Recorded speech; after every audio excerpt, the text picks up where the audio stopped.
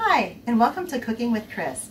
I'm Chris Kendle, Family and Consumer Sciences Extension Educator with Ohio State University Extension and Tuscarawas County. And we're um, working on a series right now where we're talking about cooking in an electric multi-cooker. Um, this is a small electric multi-cooker. This is a three-quart Instapot, and it's really nice and convenient for if you're wanting to do um, smaller meals, cooking for one or two.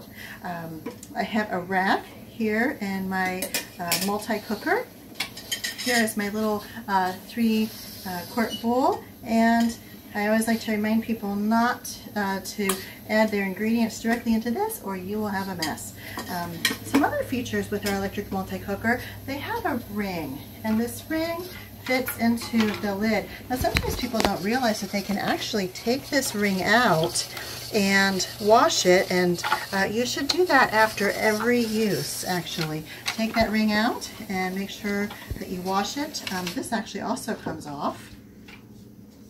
And then after you have it all nice and washed up, it just uh, pops back in here so you can kind of see, kind of like fitting in a sleeve of a dress. I just go around there and uh, get this all um, sealed back up here.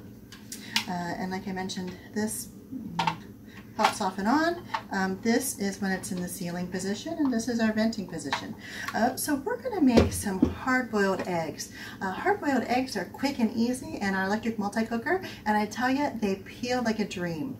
Uh, before we get started I'm going to head over to the sink and I'm going to wash my hands hands all washed and we're ready to get started. Uh, this is a pretty simple one. Our only ingredients that we need are eggs and some water. I'm going to put about a cup of water into the bottom of my electric multi-cooker. Um, you need about a cup so that you can build up adequate steam, so that you can build up pressure, uh, pressurize the unit, and you know progress with our cooking.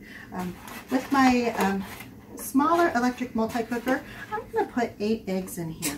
Now with my big electric multi-cooker, I put many more in. I'll usually put in, um, you know, a dozen uh, or 15 or so eggs in my electric multi-cooker. And I, I do try to position them such that they're sitting up here. Of course, they're not behaving here today.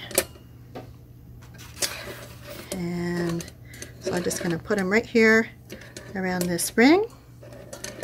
Get them all organized in here. And then I'm going to put the lid on my electric multi-cooker. There it goes. Uh, make sure that it's set for sealing. Now, I like to use um, six minutes of pressure, six minutes of a natural pressure release, and six minutes in an ice water bath. Uh, so that, to me, makes the perfect hard-boiled egg. Some people like their eggs a little softer, and so they do five. Uh, so five minutes of pressure, five minutes of a natural pressure release, and five minutes in that ice water bath. Some like them a little firmer, and so they go seven. So five, six, or seven, whatever your pleasure. I like it right there in the middle with that six. We're gonna go ahead. I'm going to set this on pressure cook. So I'm gonna use my pressure cook setting. Oh, must have made eggs last time too. It's set right here for six, and off we go. It's gonna pressurize, and then it'll start to count down the six minutes. Our electric multi-cooker has beeped to let us know that the um, six minutes of pressure cooking is done. We're going to let the time elapse for six minutes of a natural pressure release uh, before we release the pressure here um, by moving this from sealing to venting. Now that our six minutes of natural pressure release have elapsed, I'm going to move this from sealing to venting.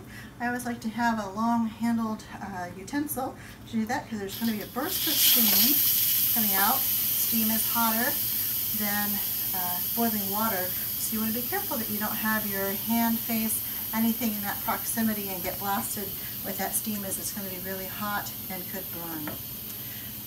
So once that uh, button releases goes down in, I'm going to transfer my eggs into uh, my container of really cold water.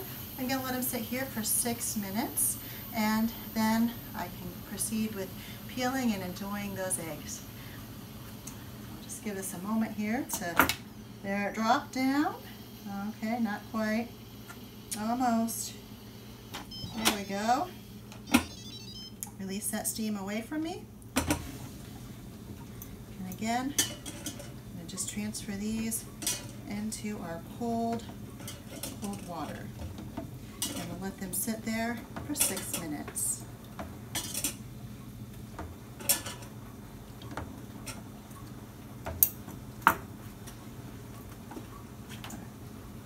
Our six minutes of cooling has elapsed and I just want to show you how easy these peel, uh, how nicely uh, it does peel with the electric multi-cooker. These were newly purchased eggs and it's just peeling right off of there.